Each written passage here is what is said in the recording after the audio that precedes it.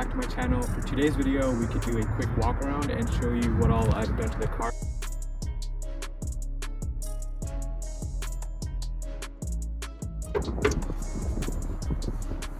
So the car is full bolt-on.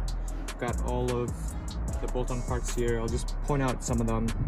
We've got the PRL full intake system that consists of the inlet pipe, the intake with the race mouth, obviously the air intake box, and then right underneath, if you can see, I've got the PTP turbo blanket, and as well as the downpipe.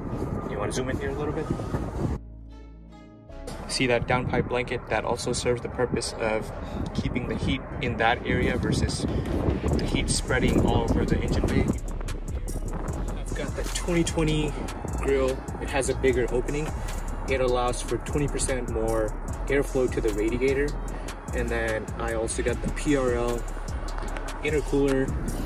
One exciting thing I want to show you that I didn't have last year was the PRL Flex Fuel Kit. So the biggest change in the interior you can obviously notice are the seat covers. Black Euro spec Type R style seat covers. All right, so with all the mods I have done to the car, the car is running at 390 wheel horsepower and right around the same amount of torque.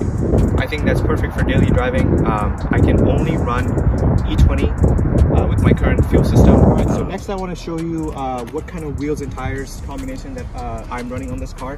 If you want to zoom in here a little bit, um, I've got the Konig Ampliform wheels. Those are 18 by 9.5 plus 38 offset and they are wrapped around with the Michelin Pilot Sport 4S.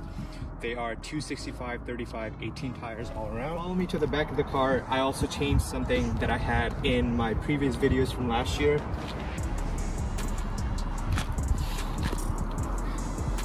We now have the HKS Spec L exhaust on the car. Performance exhaust had a really good deep tone, but the sound level was a bit too much for me, so I wanted to try a different exhaust, and I'm glad I made the decision to switch.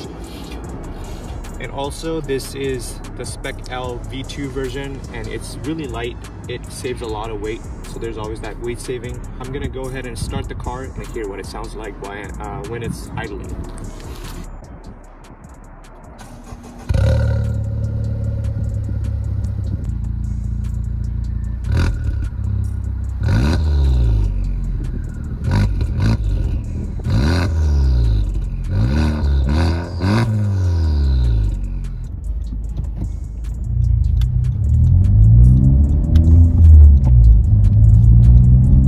So I wanted to take you guys along on this short POV drive so that you